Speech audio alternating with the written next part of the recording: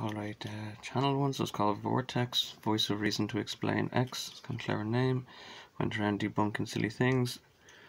I kind of debunk a silly thing here in the same similar vein of contribution in all our patients and tutelage. Flat earth theorists. Let's get it out of the way real quick. So, um, hey Billy, you never guess what? Me and Miriam went up into space the other day. Come here, I want to show you something. You're not gonna believe it. Check it out, bro. Wow. I know, I didn't believe it either. It's the whole Earth, Billy. Whole Earth. I could see the whole thing. I could see Antarctica and I could see the Antarctic and I could see everything, Billy. Blow your mind, Billy, doesn't it? The photograph we took. And don't tell anybody, Billy. No, it's our little secret, our little view, our little view from outer space, a little glimpse we paid so much money for. So you're going to keep it secret, aren't you? And because they kept it secret, it became privy, and it became leaked kind of documents. Check out this photograph from outer space of the world. An actual photograph of the world appearing apparently holistic in one whole image. It's circular but not spherical. So that's where the hype came from, the actual premises or foundations required for such a silly thing to be publicly believed.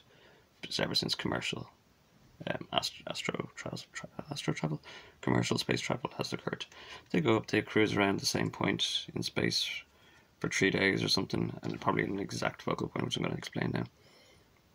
They travel to a point outside the sphere where light, and you see all these things. This a light horizon, basically, a, an event horizon of light. And this is where event horizons come from, a light horizon. So they use light horizons to explain or theorize event horizons. So there's light horizons where you see match. Have you ever thought about what it's like to go into space where the light is warping and changing and redirecting all the time? It's a very weird thing to maintain in your thoughts. So anyway, they take them up to this point, focal point, or this view viewpoint basically, and they show them a trick, and they don't even explain it to them. They just let them go wow and flow back down to earth. But it's just like a big aperture. It's like I was using a video just before I tried to explain this.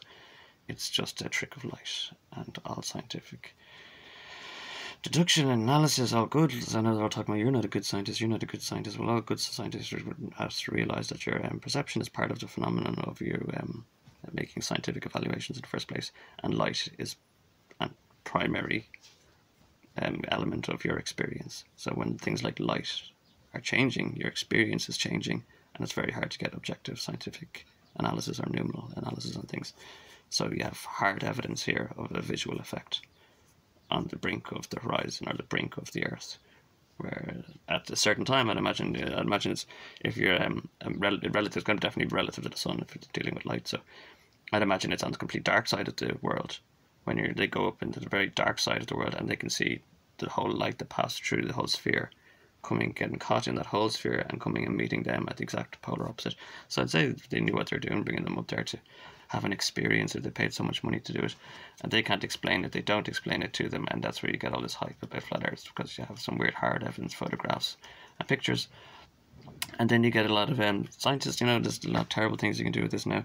So in uh, you know quantities are transcendently ideal. So you can put things on a pie chart or you can put things on a uh, you know a pyramid chart or you can put things on different types of web chart.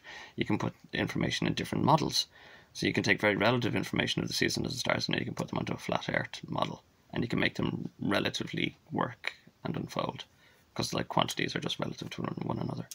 So that's why you can also make a lot of science and you can actually not prove it, you can put easily put mathematics to flat earth theories as well. And uh, all the relative quantities are there but it'll just move in a flat earth, um, you know, a model, a different model, but the same information is being withheld. So you get a lot of people trying to make science now, which is very wasteful and uh, time consuming and uh, stupid. Um, backing this up, and then they say the science to back. So we've hard evidence, we've hard photographs, and now we've evidence to back it up. So no, it's all silly.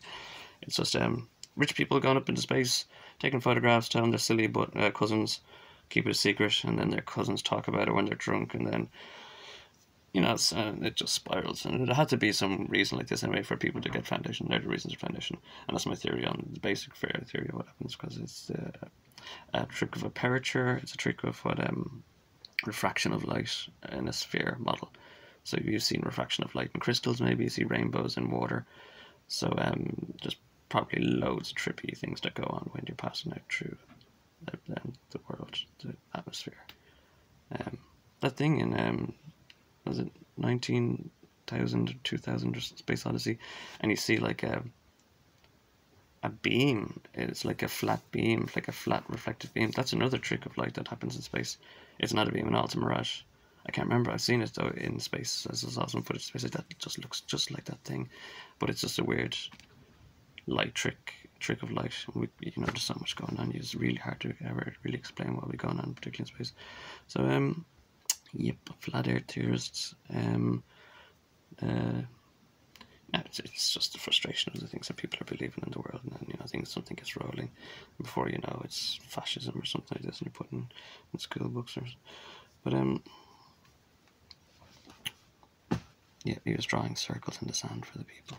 Morty's one. okay.